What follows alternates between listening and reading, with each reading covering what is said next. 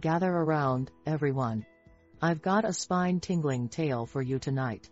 It's a story about a haunted house, the scariest one in town.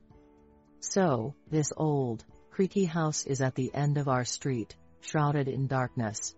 They say it's haunted. I've heard whispers, you know, secrets of this place, and I'm here to share them with you.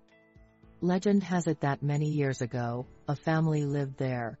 A kind man, a loving woman, and their sweet little daughter, Emily. They were as happy as can be, but fate, well, it had other plans. One stormy night, the heavens wept, and thunder roared like an angry giant. Lightning struck the house, setting it ablaze. The flames raged, and despite the brave efforts of firefighters, it was all too late. The family perished in the fire. Their laughter, once echoing through the halls, was silenced forever. But here's where it gets really eerie.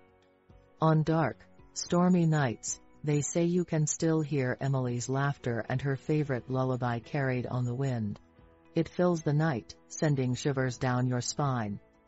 Some even claim they've seen her ghostly figure peeking through the windows on nights when the moon is full. But here's the twist.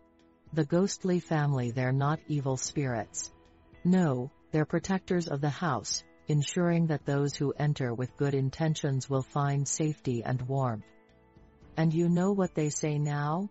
They've turned that old, haunted house into a museum a place where people can learn about this family's story and experience a bit of that ghostly magic. So, who knows? Maybe one day, you and I can visit the house together. We'll learn about the past, feel the chills, and let the spirits guide us to a heartwarming adventure.